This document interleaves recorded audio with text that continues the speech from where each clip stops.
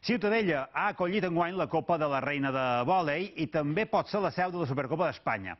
Aquesta és el manco d'intenció de la Barca Menorca, que vol assumir l'organització després que el Logronyós, el Logronyès, anfitrió previst com a campió de Copa i de Lliga, hagi abandonat la competició. Les menorquines ja tenien garantida la presència al torneig com a subcampionat de Copa i també com a segones classificades de la Lliga. No com un partit normal, també requereix un, una, un esforç extra, volem, volem veure també fins a quin, fins a quin punt el podem assumir també, i, però com t'he dit el volem analitzar perquè creiem que seria un bon inici, un bon punt de motivació i d'inici per, per encetar la temporada, tota una Supercopa, no? tot un títol en joc. Per tant, ho, ho mirarem amb, amb ganes perquè veure si és, si és possible.